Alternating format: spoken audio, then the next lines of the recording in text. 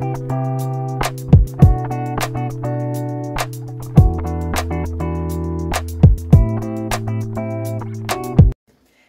y'all, and uh, welcome back to the kitchen.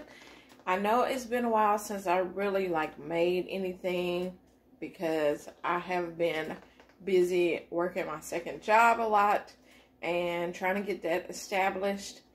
And so I am cooking something today because I am hungry and um, I'm not out and about, so I hadn't grabbed nothing. So I'm cooking something at home. I started my pork um, pork riblets. It's not pork riblets, but um, let's see what it's called. it's just some pork um, that you can barbecue with or whatever. And I went on and put it in my slow cooker and it has cooked for like five hours. So it's really tender. I added some green peppers and some um, pearl onions in it and a little beef, beef broth, salt and pepper, and uh, garlic. And so I put it in there. So that's cooking. I'm going to show you that in a minute. Right now, I am working on my sweet potatoes. I have them in here. I have done sweet potatoes before in the past, so y'all have seen the sweet potatoes. And also, I'm going to do this banana pudding because everyone's been talking about when you're going to do the banana pudding. So that's what I'm going to do as well. So right now, I just have my sweet potatoes right there um, in a pot. I'm going to add a little pepper in there and some salt, even though we're going to make it sweet. You know, the salt kind of brings out that sweetness in it. I'm going to put a little bit of cinnamon. Now, the, the um, sweet potatoes I'm using, they are not from scratch. Um, this is called Sugary Sam. It's the sweet potato, golden cut sweet potatoes. And um, I'm using that today. I'm going to put a little bit of regular sugar in here as well. And a little bit of butter. Let me grab that.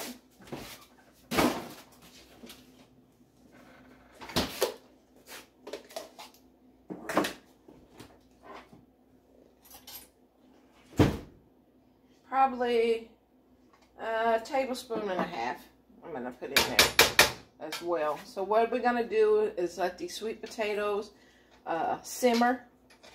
They're just going to simmer on the stove.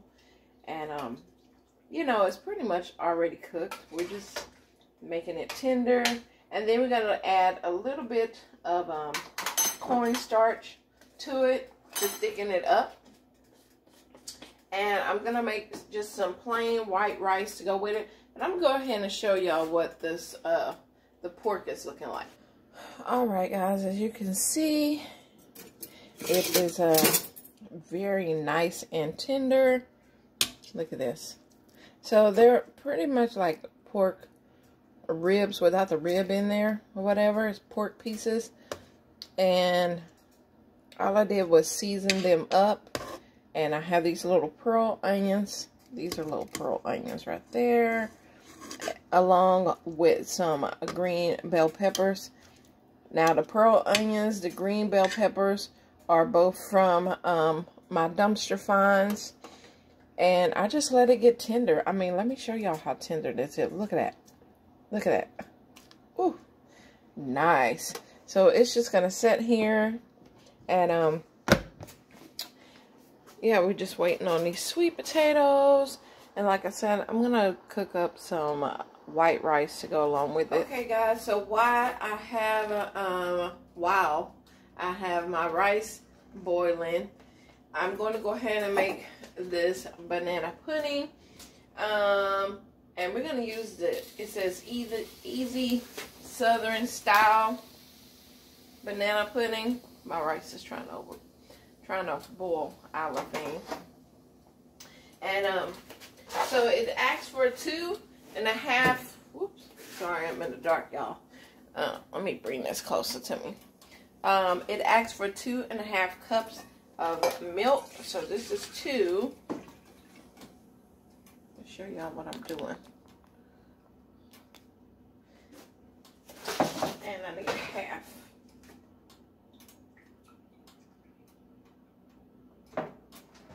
There's my half. Now I already have layered my pan. Just said layer it with my cookies. And let me get my bananas. Here is my ripened bananas, my dumpster bananas. And um, I got too much stuff going on up in this area. But anyway, here is the pudding mix. I'm going to go ahead and mix it up in here.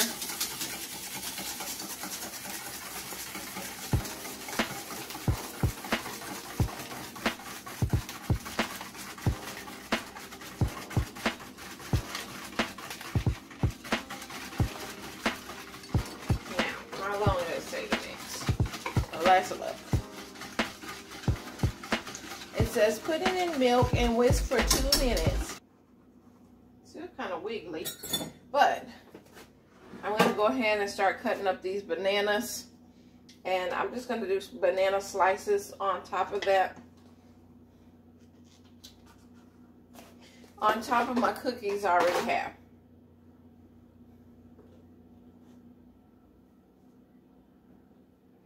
Very soft bananas. So just slice it. Be careful. If you feel like you might cut yourself, then do it on a cutting board.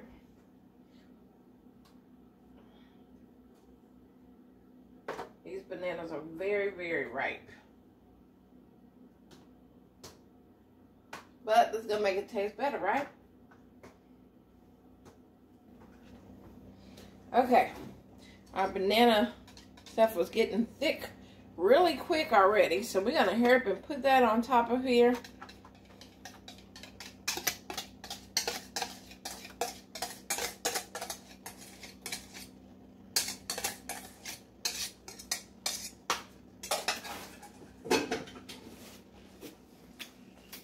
I'm going to get us a nice little spatula.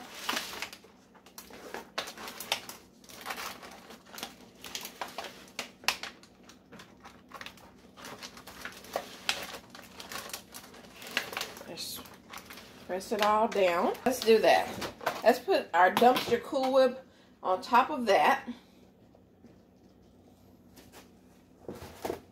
I'm improvising, y'all. I'm just making it as I go. Because I really want to do some crumbles of um, the banana, um, the vanilla wafers on top. I think that would be really cool. Yum! It's looking delicious. All right, you know what?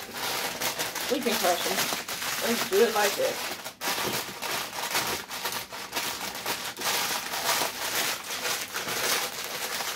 All right. Now, we're just to take these crumbs sprinkle it on top. Ooh, now that's beautiful. Look at that.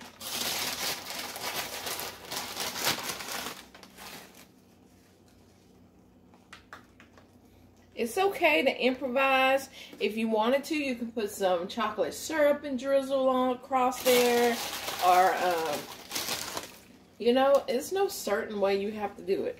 Make it how you want to. think that looks lovely. What do y'all think? Let me wipe my hands with this towel. Let me show y'all this banana pudding. Oh yeah. My dumpster bananas and my dumpster cookies with my dumpster Cool Whip. The only thing I did get from the store was a dollar um, package of the vanilla um, pudding mix. But that looks nice. We're going to put this in the refrigerator. Um, and I'll show you what it looks like in a little bit. All right, guys. Here is my food. Here's my sweet potatoes and my rice with my pork tenderloin. And um, it has the pearl onions and green peppers in there. So uh, this is what I'm going to eat I was going to make something green to go in this little area, but you know what? It could. I should have put some cornbread there, but your girl is hungry. so, um, this is what it is. And let me show you um, the banana pudding now. All right, guys. Here is the banana pudding. Look at that. Yum.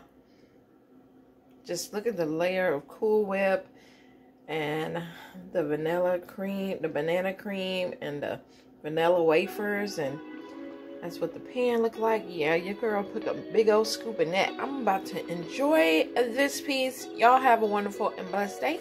And I'll see you on the next video. Bye.